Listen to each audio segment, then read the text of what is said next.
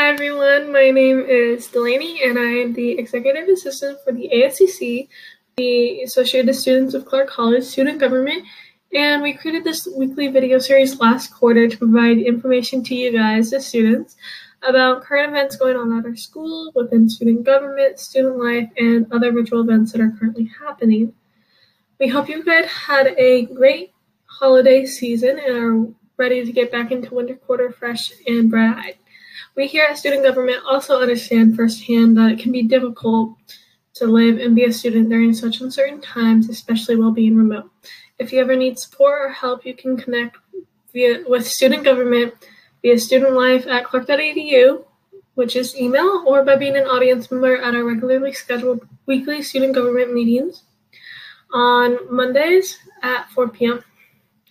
But if you're also looking for a remote job during these times. We have part time positions on committees to provide your input, and you'll work with faculty to help improve the college and earn a little bit of money. You can contact our vice president at edavidson at clark.edu for more information on these positions. And for our current virtual events for the week of January 4th to January 8th, we have Winter Quarter begins on January 4th. So this is also the kickoff of Winter Quarter Welcome Week.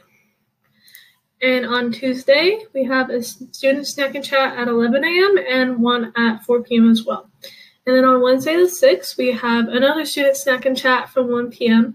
These snack and chats are just to grab a snack, chillax, and just talk with other students from different positions within the college.